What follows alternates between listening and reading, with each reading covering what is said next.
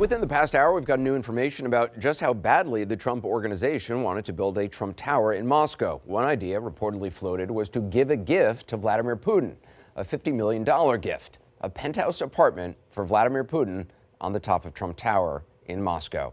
A deal that Michael Cohen says he and the Trump organization were pursuing well into the 2016 campaign. Now, the information comes from one of Mr. Trump's partners in the effort, and no, this is not something that candidate Trump ever mentioned. Did Mr. Trump know about the $50 million gift idea? We don't know the answer to that. But others involved in the attempt to build in Moscow apparently did. It's been quite a day for President Trump. He arrives just minutes from now in Buenos Aires for the G20 summit. Just before he left for the airport, as you know, Michael Cohen, his former trusted advisor and lawyer, stood up in court and admitted to lying to Congress about Trump business dealings with Russia. As part of a plea agreement with Robert Mueller's team, he admitted the dealings continued far into the campaign up to and including when candidate Trump was the presumptive Republican nominee. Now, the charging document lays out conversations Mr. Cohen had with Russians, including a close advisor to Vladimir Putin, about the potential Trump Tower project in Moscow.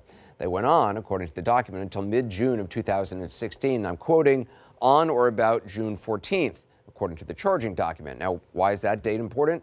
That happens to be the date that the Washington Post broke a big story that Russia had hacked the Democratic National Committee.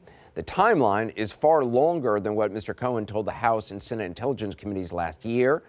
Today in court, he said he lied to Congress to help the president, known in the court transcript as Individual One. I'm quoting I was aware of Individual One's repeated disavowals of commercial and political ties between himself and Russia, and that any contact with Russian nationals by Individual One's campaign or the Trump organization had all terminated before the Iowa caucus, which was on February 1st of 2016, which Cohen now says was not true.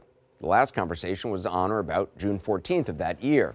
He went on to say, quote, I made these misstatements, he concluded, to be consistent with Individual One's political messaging and out of loyalty to Individual One. So he's saying he was lying to Congress because candidate Trump was lying to the American people. The president responded today saying this about Michael Cohen.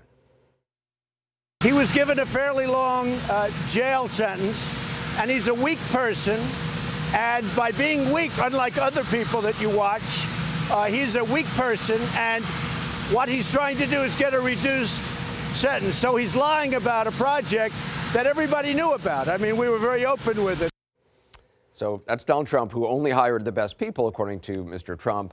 He would have you believe that he was employing as a close confidant and an attorney for years a weak person who's also a liar. He's also claiming that he's been open all along about his business dealings in Moscow.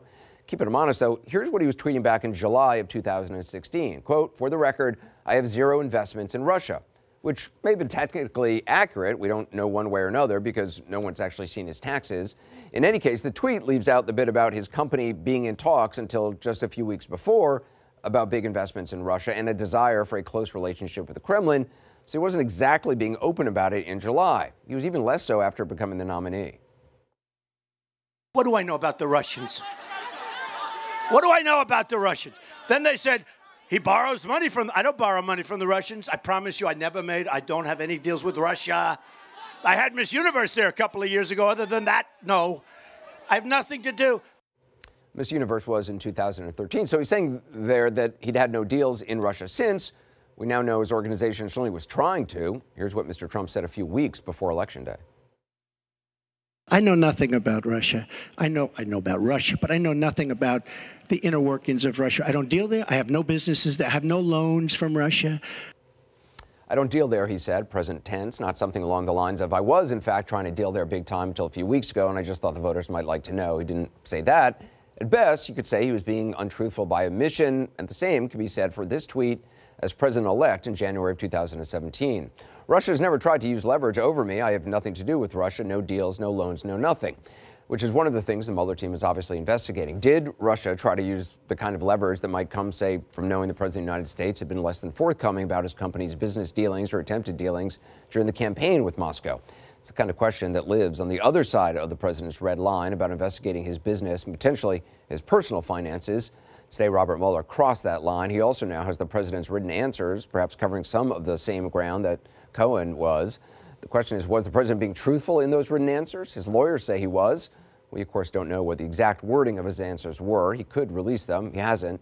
Keeping him honest, it's well documented the president sometimes falls short. As Robert Mueller biographer Garrett Graff noticed earlier today, he points to a presidential tweet from this morning about the Mueller investigation. Quote, Did you ever see an investigation more in search of a crime? The president tweeted. At that very moment, we now know that the president already knew about Cohen pleading guilty to lying to Congress. Tweeting is easy, truthing, that's another deal entirely.